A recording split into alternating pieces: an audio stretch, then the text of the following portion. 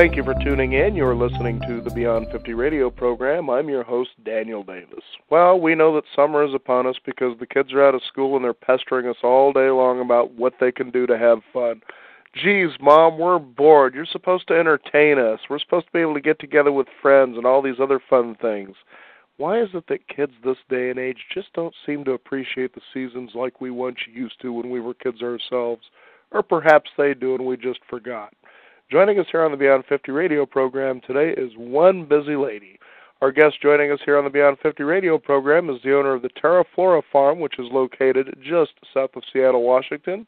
She's also an active mother of three young men, ages 10, 13, and 16, and she's also on the planning council of what is known as the Fairy and Human Council Relations, which uh, happens in late June, which is in the summertime. She's joining us here on the Beyond 50 radio program to talk about the wonderful elements of summer. And I'd like to welcome Laura Sweeney to the Beyond 50 radio program. How are you doing today, Laura?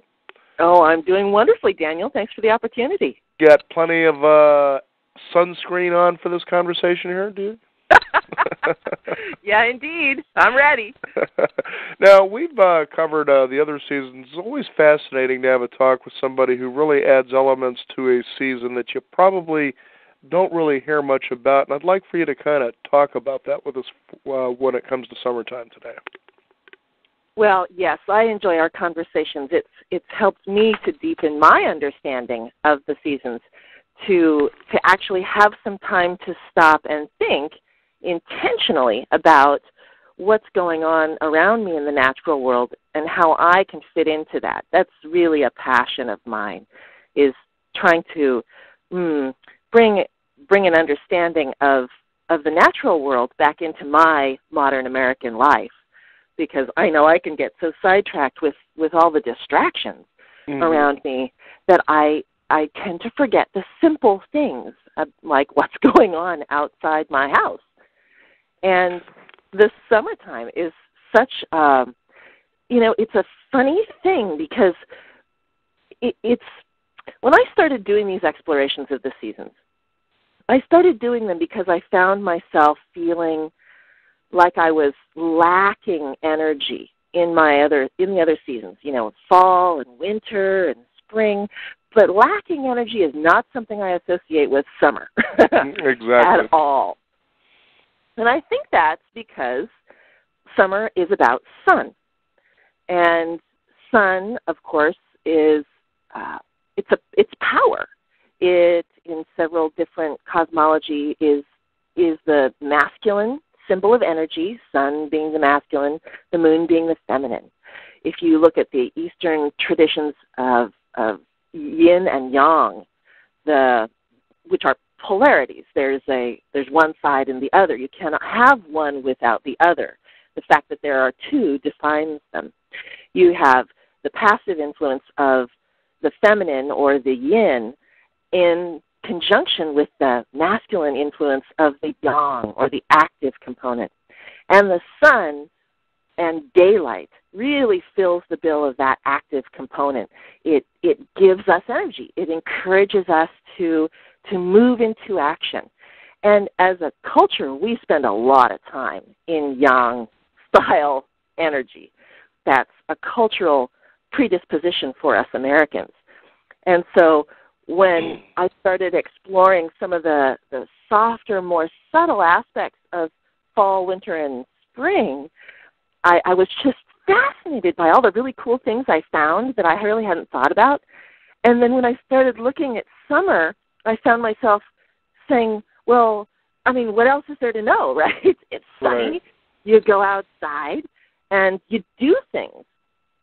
And I kind of had to start from a different place because that action that action almost got in the way of my contemplation.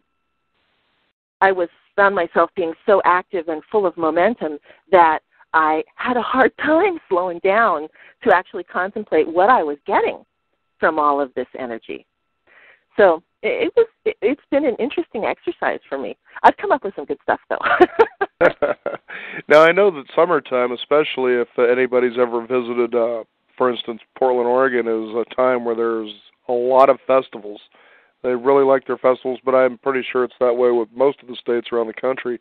Uh, let's talk about some of the celebrations that go on during the summertime that are symbolically fulfilling as far as uh, understanding summer in its essence.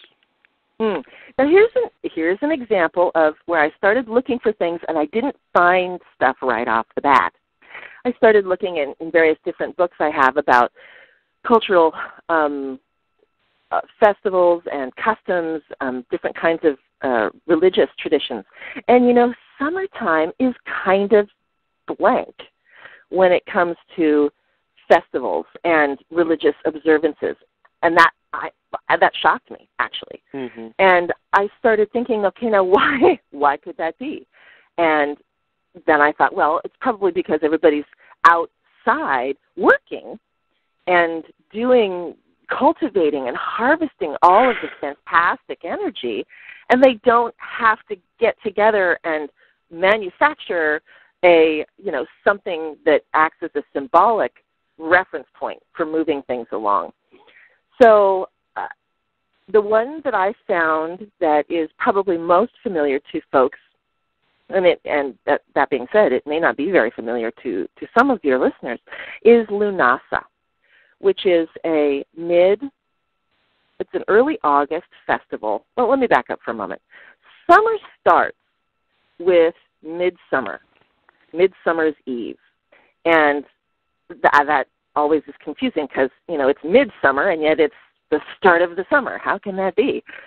But that is, I'm sure many of your your listeners have heard of Shakespeare's A Midsummer Night's Dream, which is a very famous play. Mm-hmm and it's an exploration of of the fairy kingdom and nature spirits and how that playful influence comes into conjunction with human playful influences or lack thereof. Um, and of course, it's about love. Passion is a, a huge component of sun and the sun energy.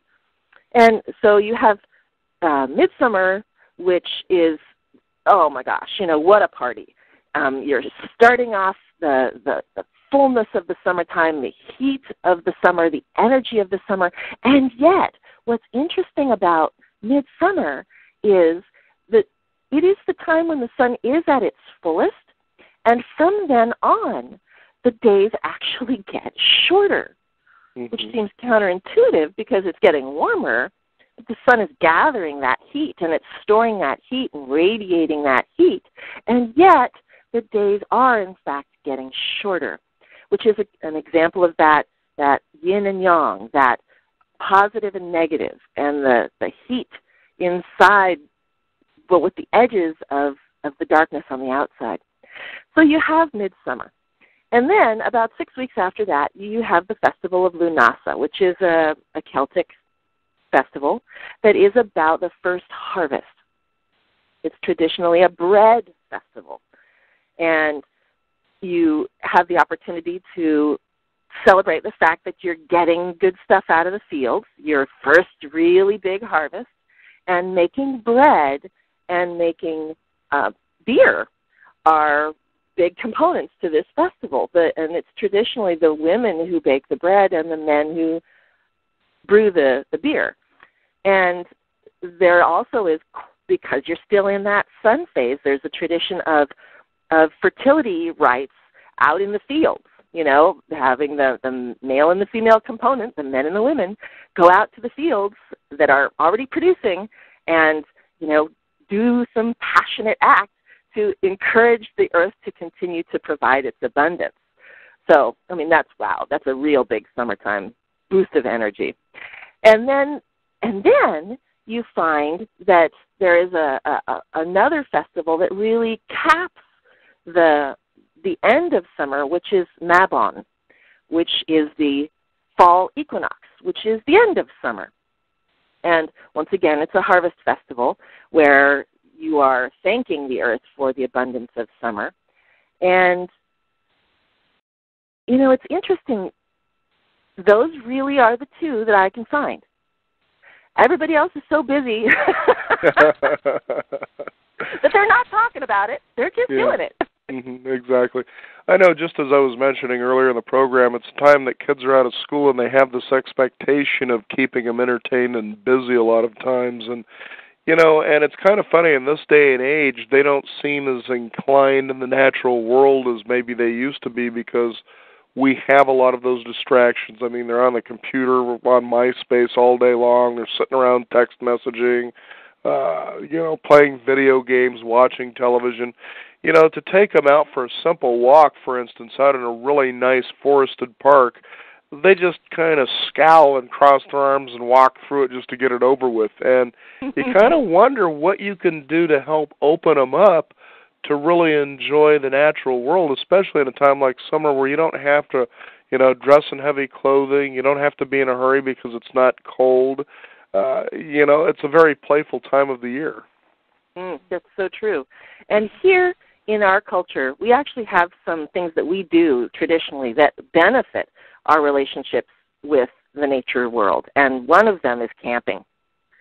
Camping, of course, everybody, most everybody that I know of, can think back to their childhood and camping trips that they took with their parents or with friends or summer camps that they went to. And these are, oh my gosh, foolproof ways to get back in touch with nature. And I encourage listeners to take their children or their grandchildren, whoever, or friends' kids, and have a camping trip. Even something as simple as going out in the backyard, mm-hmm. but pitching a tent so that you don't have, you're not in a camper, you're not in a hotel room, you are out in nature so that you can feel the dew in the morning. You can feel the moisture as it starts to coalesce at dusk. You can have a campfire these are all really wonderful ways of bringing the elemental world back into our consciousness. So, taking that tent, going out into one of your favorite spots, going online and renting a, a, a spot from the Forest Service. It doesn't have to be elaborate. That's one of the great things about camping because it's so interesting already. Right. As long as you don't allow your I mean I encourage folks not to allow themselves to get sidetracked with a bunch of alcohol and a bunch of partying so that you keep your senses clear and you have the opportunity to experience that natural world, not just be in it, but experience it. It it's I think we do our children and our grandchildren a disservice in not remembering how far they've come from where we were as kids, mm-hmm. how far culture has come, and that the computers, the the little blackberries, and all of this seductive entertainment that is sedentary. They're not getting out and moving very much, and they're being entertained. They're being fed entertainment. They're not using. They're not needing to use their own creativity to find something and create entertainment. I think we do ourselves a disservice if we if we forget that that needs to be taught. That's a skill that it's our job to remember to pass along to them. One of the fun things that I really like to do in the summertime with my kids and with neighbor kids is to make fairy houses. And this is something that you can do anywhere, anywhere that you have maybe some grass or some dirt, pine cones, leaves, grass, sticks, whatever you might have, little tiny bits of, of things you find on the sidewalk, string and a, a sequin or two, and go outside, find a nice place that you know is maybe a little shady so you don't get all too hot may, maybe it's nearby where you live or where they live, so they can go out and they can visit these little um, habitations later and see how the world, how the nature world changes them through time. But you go out and you find a spot where you can get down on the ground and you start making a little fairy house and allow your your intuition to speak to you in finding a good spot, in finding a place that might have a little moss. That imagine you're just tiny, tiny, and what that would feel like. And of course, with kids, especially if they're younger kids, they're still there. They still have that wonderful sense of play, which allows them to imagine. And they can take you along with them. They they can remind us in some ways that it's just really lovely. But go down onto the ground and use what you have at hand and you can find that this can actually be quite enchanting. You can spend hours doing this. And you can even make a group of little houses. And if if your if your play partner is so inclined, you can leave little offerings for the fairies at their houses. Traditionally, they really like things that have been baked or brewed because they can't do those things. They don't have the free will to be able to um, change natural elements like flour and bread uh, into bread or um, you know juice into wine or what have you. You might not want to get the wine out with the little ones, but you know taking a little piece of cookie or a little piece of muffin out there and giving it back. The act of building that relationship, of allowing that mystery to be true and alive, is oh, it's enchanting. It's so much fun. So that's one really fun thing you can do with kids. And another thing that I really like to do, if you have somebody that you know, or you have it in your your own garden, and you and you grow roses. Roses are edible flowers, and if you can find some that you know haven't been sprayed with pesticides or herbicides, and get some honey, preferably raw honey that hasn't been heat treated because that kills all the natural enzymes and and um, things in the honey. But take those rose petals, find a really fun jar, and pack the honey with rose petals. And you can really squish it in there. Of course, playing with honey is always so fun because everybody gets all gooey, and, and honey is so beautiful anyway. And to play with the beauty of the roses and put them in the honey and be able to look at it. And then once you get just this container absolutely packed with rose petals, put it somewhere dark and come back to it in two or three months. If say you're working with your grandkids and they don't you don't see them very often, maybe the next time they visit will be several months away. Or maybe you won't see them again until Christmas. This is a way of harnessing the energy of the sun and of course the beautiful memory of the time that you're spending together. After several months, the petals will start to decompose, not rot, but they'll they'll they'll fall apart. And the honey takes on some of that floral essence of the rose and oh wow, toast with rose honey is spectacular. And you can have it on your on your toast like in the dead of winter and remember that time or you can strain the petals and you can eat the petals too or you can strain the petals out and put them into, say, tea, and you'll still get that amazing floral smell. Smell is so important to us human beings. It's such a deep sense that it will take you and your your young ones back to that time when you were together and connecting with the natural world. Mm-hmm. That's a really fun thing. It does. It sounds fun. You also bring up something that I think is interesting too, and that's about uh, eating during the summertime and what the right foods are because you have a hotter time of the year. Of course, eating heavier foods may not be conducive to being active at the same time. Mm. Talk about some of the uh, ways people might want to consider uh, because this is also a time that you tend to see a lot of barbecuing, so you got a lot of heavy meat, and uh, you know, kind of maybe mixing it up a little bit or even changing that. Yeah, that's so true. I mean, barbecues are great because again, you're you are in the presence of the element of fire. That's an elemental form. It's not mediated through a stove or a pan. It's not piped into your house. It's you are right out there with the fire. And so I encourage folks to pick up some of those wonderful mesquite briquettes that's not full of all kinds of petrochemical starters and stuff.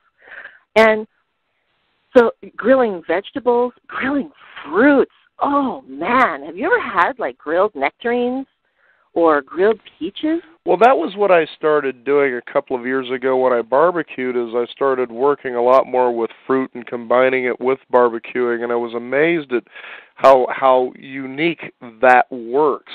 Mm. yeah, that's it was quite amazing actually. wow. It's so so succulent. You know, it's Mhm. so juicy, and to add that to a nice big chunk of some you know flesh of your choice, whether it's chicken or it's beef or it's pork or it's or it's zucchini or it's eggplant.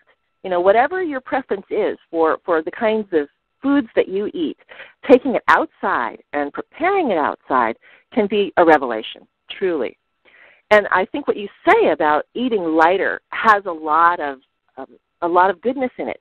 If you look at the cultures that tend to be hot, you know, Southeast Asia, Thai, Vietnam, Vietnam has this down. I tell you, they have these wonderful um, things called salad rolls, where it's all almost all raw. You take fresh basil leaves, fresh cilantro leaves, um, fresh bean sprouts, and diced or julienne carrots and cucumbers. Cucumbers are big for them, and you you um, julienne them so they're long and thin, and then you take rice noodles, which are a lighter version of traditional wheat noodles that we would be used to from our Italian heritage, but rice noodles, which are inherently lighter, and you boil up the rice noodles and you get all your little components, your greens and your um, maybe a little bit of grilled. Again, we get back to the grill, grilled pork or grilled chicken, and then they have these wonderful things called rice wrappers. And oh, talk about playing with your food. This is such a blast. They're actually they look sort of like wax paper. They're usually in a circle, and they're hard and brittle and quite thin. And if you have any Asian specialty stores, you can walk in and ask for this, and they'll know exactly what you're talking about. And you dip them in warm water, these flat, brittle wrappers, and they immediately start to soften. Again, you're you're you're dealing with an element. This time, it's the element of water, and how water will soften something. And this goes from this hard, brittle, almost like glass, to this soft, gooey, um, floppy thing that's like the thinnest pancake or crepe you could possibly imagine. And you lay it out on, say, your cutting board. And you fill it like you're making a burrito, full of these beautiful fresh vegetables. A couple of leaves of cilantro and some leaves of basil and a couple of sticks of carrots and and and cucumber, a little bit of meat, and then you and this takes some practice. you roll it up so that what you end up with is what looks like a burrito. It's smaller and more petite, but it's it's got all these beautiful fresh vegetables in it. And then at these Asian specialty markets, they'll also have what's what's called a dipping sauce, and it's a vinegar and sugar and fish sauce co- composition. So it's sweet and it's tart and it's spicy, but it's light. And you Mhm. dip that in, you you dip your salad roll into that and eat it.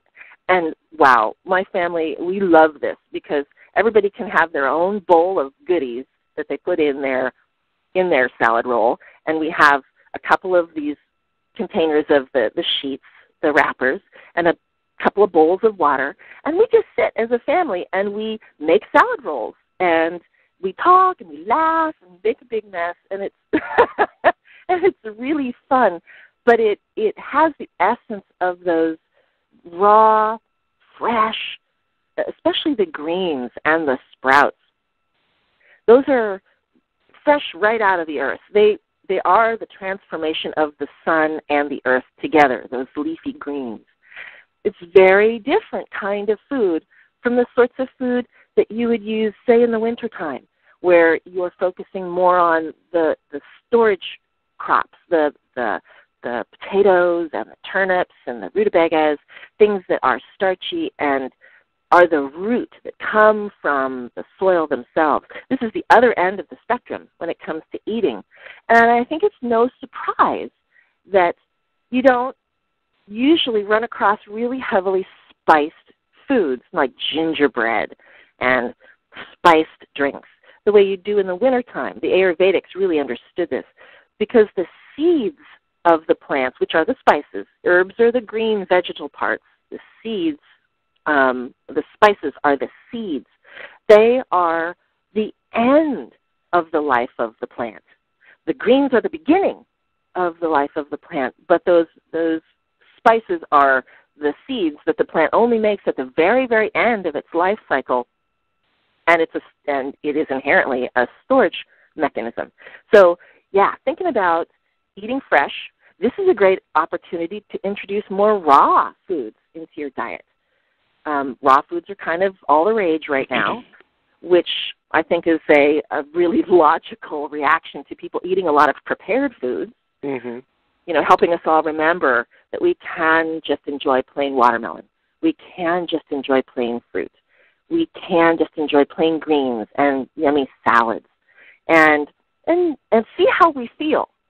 See how that makes us feel different. I know it makes me feel different. And and then my goal is to take that feeling different, feeling lighter, feeling more um, more prepared, maybe eat, eating less at each meal, but eating more frequently. Take that into the fall. See if I can have that feeling of lightness and clear energy as I move into a quieter time, a slower time. This also brings up a really nice thing to do in the summertime with or without kids, which is to find a local farmer's market. Because if you want fresh food, you know, the, the best way to get really beautifully fresh food is to buy it from the farmer. And farmers markets are experiencing a beautiful renaissance here in the United States, much much overdue. Mm-hmm. And it's a it's an afternoon of fun. You you can meet all kinds of farmers. You can see all kinds of foods that you don't even know what they are. Perhaps perhaps you see some some ethnic vendors that might be offering things that you've never even seen before. Most farmers markets will will really help you make a day of it by providing entertainment, musicians, crafts for the kids. There's usually um, some fresh food booths, so you can either eat raw or you can get something that's made right there. The smells of the cooking food and the ripening produce, oh my gosh, you know, you can't escape it. It's all around you. You're submerged in it and actually seeing people who work the earth, getting a chance to get out and and meet your neighbors, meet other people in your community. There's also opportunities at the farmers market, usually for for social encounter. Sometimes there's political groups or religious groups that are there, and you can meet some new people, have a nice time, be relaxed. It happens at your own pace. Oh, and the best thing about a farmer's market, let me tell you, is that you can ask for taste. Any farmer that is worth their salt knows that the thing that will sell their produce or their food is for you to taste it. I mean, they can tell you about it all day long, but it's not packaged in plastic. It's not all pre wrapped and pre shrunk. And that's part of building the relationship with the farmer is to say, wow, that looks really good. Can I have a taste of that? Or what does that taste like? Or um, are you giving out samples of that? Never be afraid to ask for samples. You can't do it at Safeway, but you can do it at the farmers market, and it's it's a wonderful experience.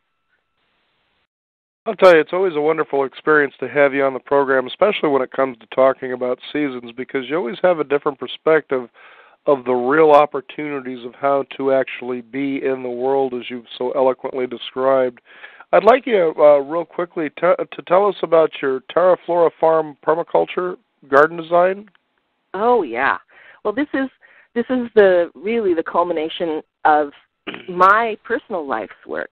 The opportunity to work with folks in my community. I live in the Seattle area, and help them build a relationship with nature in their own yard. And it could be a patio on top of an apartment. It could be a rental house that you're stewarding. It could be property that your family has owned for generations. But wherever you're at, each of us has the opportunity to to be in the world, like like you said, and having having a business where I get to play outside mm-hmm. with people all day long and help them connect with their own soil is it's a blessing. I, I can't think of a better way to work. And you know, some people they'll see me out working in the rain or whatever, say I'm weeding or or setting in plants in the fall and people will say, "Oh my God, you know, how I'm so sorry for you. You want to come inside and have a cup of coffee or something like that?" And I say, "You know, this this is the best. Life doesn't get any better than this." So, yeah, it's it's it's truly um, an honor and a blessing to have found my calling that way. And a quick reminder for your listeners when it comes to summertime, summertime can be a difficult way, a difficult time to actually start a garden because it's really dry and plants have a hard time with that. But fall, not spring, is the best time to start a garden because the nature's going to come along and water it for you and the ground is still going to be warm with all of that beautiful summer energy. So whether you call me or you call somebody in your own community to to help you build that relationship, fall is the great time to start it. Well, very good. Could you give out a website where people can find out more about what you do? Oh, sure.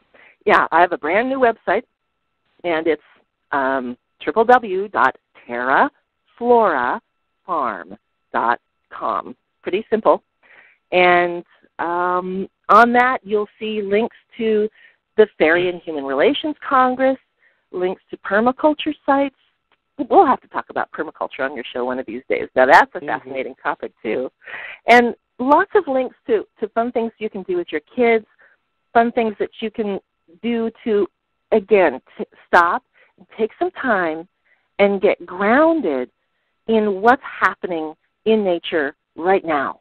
It's so easy to get sidetracked. It's so easy to get pulled into the momentum of how our culture works. And it's just as easy to stop and breathe and take the time to reconnect with what's already happening now and now and now outside in the natural world. Well, thank you again, Laura. It's always a pleasure to have you on the program and sharing with us how we can get to slow life down and enjoy it again. mm, yeah, thank you, Daniel. Such an honor. Thanks so Thank much. you very much. Again, it's terraflorafarm.com if you want to find out more about that. And our guest today, Laura Sweeney. Again, a pleasure to have you on the program. Thank you, Daniel. I'm Daniel Davis. Thank you for tuning in. You've been listening to the Beyond 50 radio program. Be sure to visit us at our website, which is Beyond 50 radio.com. That's the number 50 with a 50 and sign up for our free weekly e-newsletter. We also welcome your questions or comments. Just simply shoot me an email, daniel at beyond50radio.com. Again, thanks for tuning in. You've been listening to the Beyond 50 radio program, and remember, live your day past halfway.